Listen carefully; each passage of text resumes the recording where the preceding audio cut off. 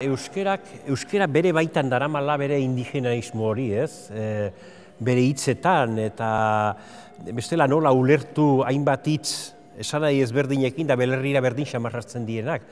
Hitz, atz, hotz, atz, hotz, utz, antz, ontz, untz, hartz, hortz, ertz. Eta gero horiek osatzen, hotz, zotz, motz, Nik itzoiek eh, esandakoan ikusten dut orain dela milaka urteko gizakiue bere aprobak egiten ez tarritik e, soinu txiki batzuk ateratzen eta soinu hoien bidez gauzak identifikatzen eta hizkuntza baten sorrera ikusten dut hor eta hori euskerak berekin darama.